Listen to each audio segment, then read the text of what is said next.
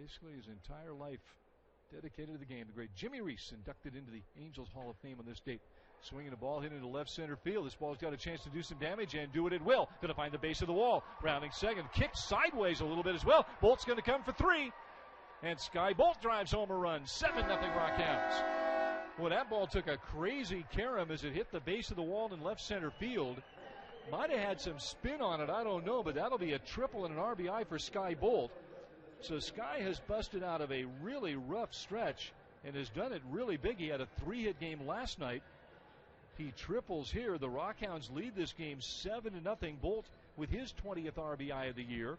The batter will be Luis Barrera.